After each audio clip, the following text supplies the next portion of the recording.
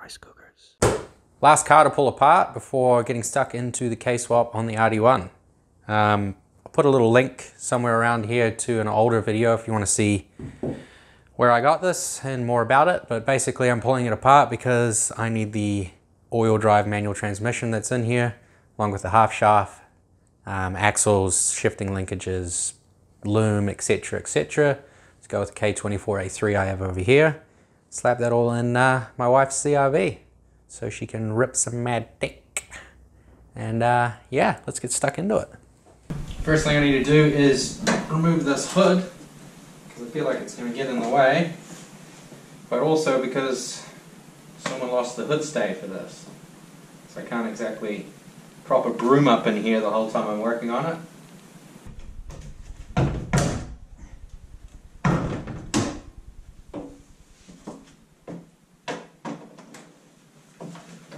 Ooh, shit! Now I need to take off all the front bumper. I think that's just going to make life a little easier. Got the front bumper off. Just to disconnect the battery and then remove these headlights.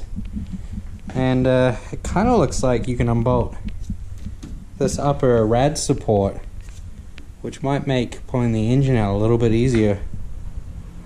So I think we'll go for that. I was going to use this rad in the RD1, but that's pugged in the bin. Headlight and battery removed. Uh, gives you quite a bit more space around here. Um, let's see where are these bolts. So you can get an idea of how to do this. There's two back in here, here on the side, the silver one, and then then just your uh, obvious ones on the top. Then we got the loom over here. You can unplug it if you like, and all of these, but I think I'm just going to cut this like I did the other side. Ugh. Fucking spider cunts. Man, I hate them. Finally remove this hoary ass intake setup, which is good because I've actually kind of missed having a bungee around, and that's my only one. I'm just going to get this in the air and um, drain it and we'll come back to pulling more of it apart.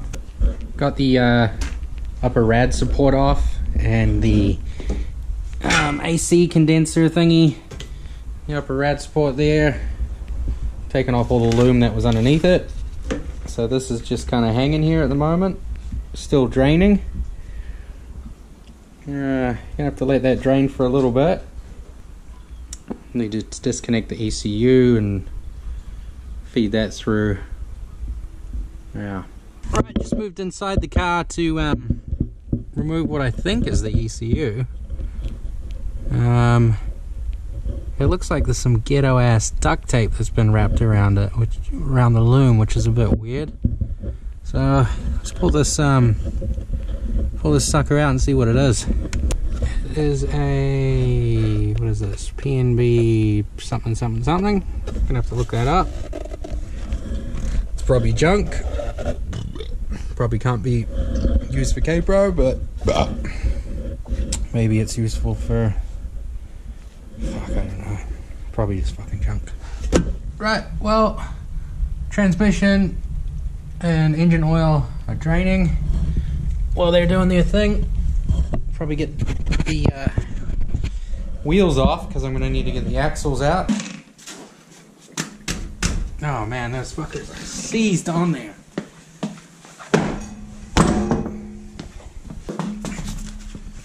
That's a 36.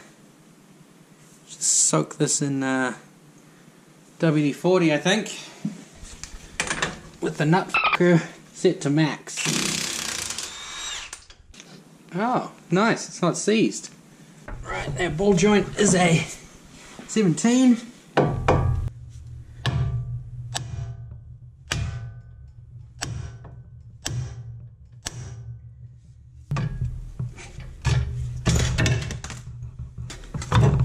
There we go. Oh man, that doesn't feel the greatest. This may have been obvious to most of you, but it wasn't to me. Uh, easiest way to get the axle out is actually just removing the knuckle from the bottom of the strut and then pulling it out far enough to get the uh, the axle through. Obviously you gotta disconnect the brake line from its mount on the strut and take off all these clips for the ABS so that that doesn't get yanked out, but it's a lot easier way to do it than taking off this bottom ball because it's hard to get back in. Managed to get this out, which was quite stuck on there. But that's both drive shafts or axles removed now. And I've just realized something else that I didn't know about these RD5s. The ABS ring goes inside the hub, not on the actual axle itself, which is going to mean problems for me with the CRV because of the fucking auto axles, and so that's going to be fun down the line. Have to see if I can swap the outers with the inners. Oh god, I don't know. Now we're under the car at the um, prop shaft. This is coming out of the transfer case on the all-wheel drive gearbox.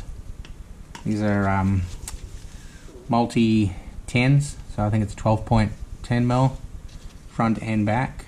So at the tip too. Okay, that'll work. So that's the uh, the nutcracker on two with an adapter. Alright, so here we are at the diff end. Same thing again.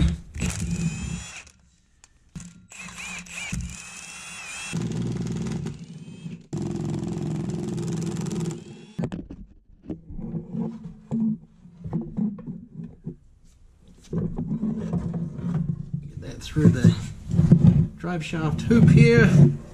Hoop, hoop here. Yep, and there we go, prop shaft out. I'll be taking these axles and this rear diff. So, anyone who knows, let me know. This is a 2002 RD5 JDM CRV K20 all-wheel drive setup. Obviously it's manual. Can you tell me if this diff is worth using compared to the RD1? Fucking sure. Here we are under the back of the engine. This is where the uh, exhaust goes 4 to 1. So I'm going to have to take disconnect this so the engine can pop out of here.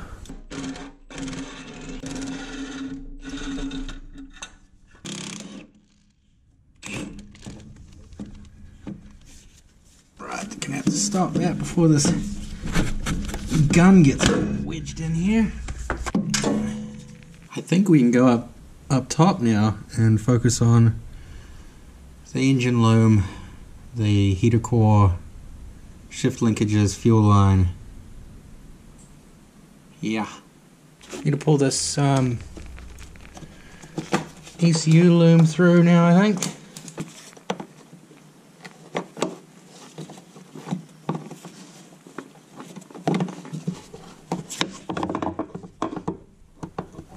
Oh, okay. You just have to pull on those clip tab things quite hard. There it is. That is a CRV butthole. Ooh.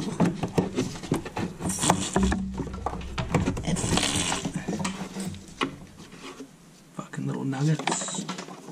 Let's get this airbox out of here. With the airbox removed, we got access to the shift linkages and the transmission mount. Got the uh, clutch pretty much completely empty of all its fluid. Clutch master, clutch slave and master. Charge harness has been removed from here. So this is a funny little design with some 10 mils kind of cover it. I'm, I'm assuming that's for so that shit doesn't fall in it. I don't know, but it's a real pain in the ass.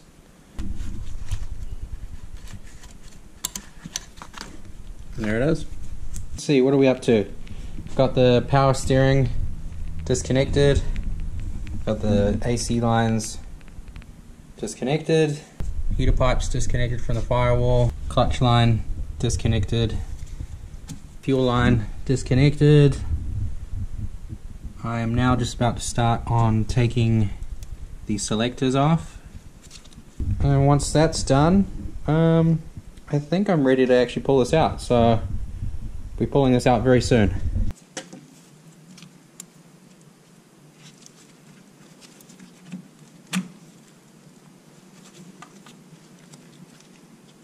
Okay, gonna keep track of this. I guess that's pretty, probably pretty important.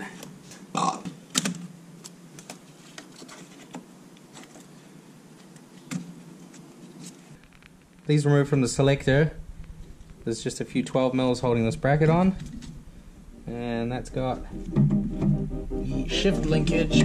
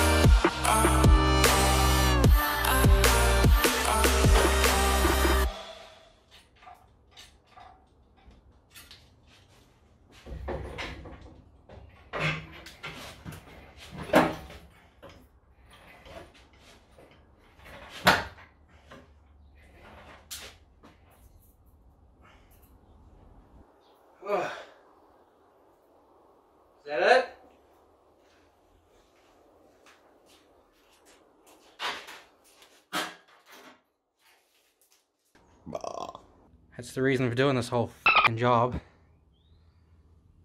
Transfer case.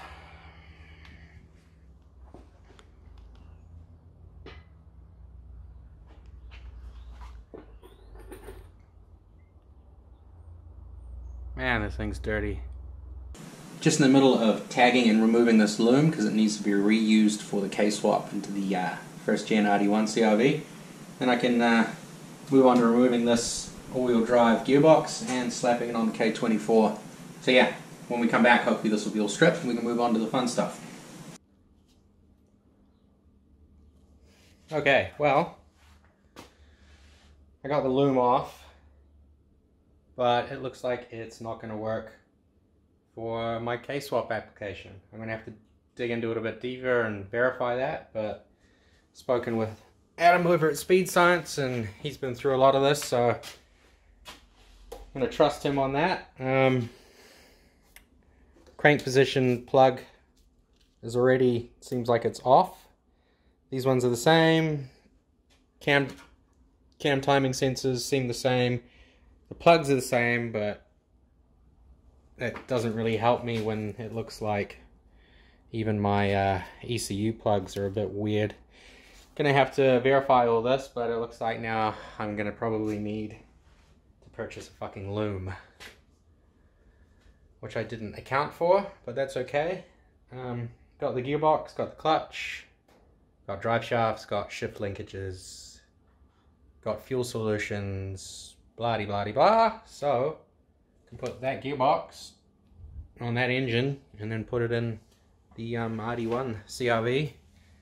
It's not going to stop me making progress. Can put that lumen, fit it when it's already in the car. So mild uh, annoyance and possibly an $800 oversight here in New Zealand, but that's okay. Got one more, one other thing to point out. Um, obviously this is throttle cable controlled, and when I purchased this engine, it came with this bag covering the throttle body, all zipped up. I never bothered to remove it because I didn't want anything to fall in the um, throttle body. But under closer inspection, this is a drive-by-wire throttle body. Which means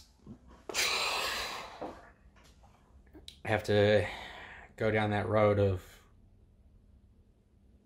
throttle by wire pedal and what's needed to do that, whether the K-Pro is going to be able to do it. I've never looked into it. Um, probably not, which means now I have to find a another throttle body. Um, if the one from that engine or my other K24 over there aren't a suitable um, replacement, then I'm going to have to start looking down intake. Uh, and if they're, if they're not a suitable route, I'm going to have to start looking down an aftermarket route, uh, which again is more money. And then there's that classic, well, you're in there kind of scenario where if I'm going to put a better throttle body on it, why don't I put a better intake manifold? And the next thing you know, you've spent another fucking $1,500, $2,000. So yeah, this is the joys of K-swaps. Even with the adequate amounts of research that you think you've done, there's always going to be surprises. And especially here in New Zealand, because we have a lot of um, JDM vehicles, and when we try and look up a lot of information, it's all based in America just because you guys were the first ones to be doing all this. So can't always trust a lot of what you read because it doesn't correlate with what we have here. But, you know, that's all part of the learning. So moving forward, get this gearbox off.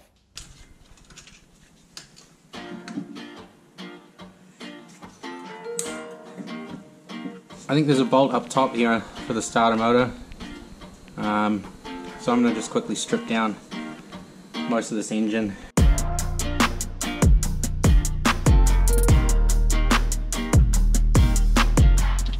Man, this this engine smells like shit.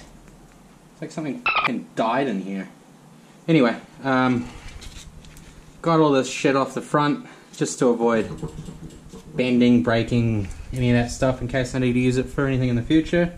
Got the starter motor off. Um, I'm still not 100% sure that actually had to come off to get the bell housing out, but off anyway. Um, gonna lift this up now and try and get access to some of the bottom bolts for this, and then we'll bring it back down and um, take off the main top ones and get this fucker off of there.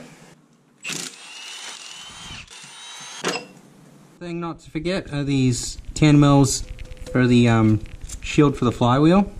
These little fuckers will cause a little bit of mischief.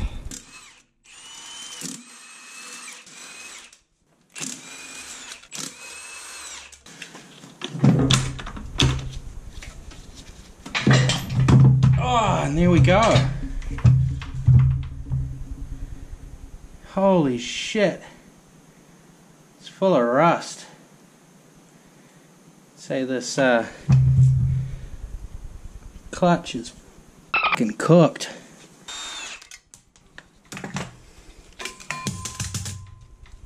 Multi-point 17. Well, I think it's called 10 or 12 points, something like that. But it's got a tapered edge, which I guess allows you to get onto bolts when they're tough to reach places, but in this case, they actually kind of make things worse. So I might sand this down. Put this on the uh, belt sander and got rid of all those edges so that this is more square. So I can have more grab on the bolts and set this thing to two and see if we can get these off.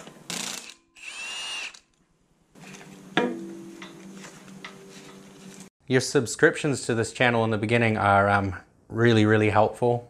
Um, slowly building up to that 1,000 and that 4,000 watch minutes or whatever the hell it is. Um, so thanks for your support so far, but if you really want to help, then subscribing would be the best way to do it. And thanks for watching, and we'll see you in the next one. See ya.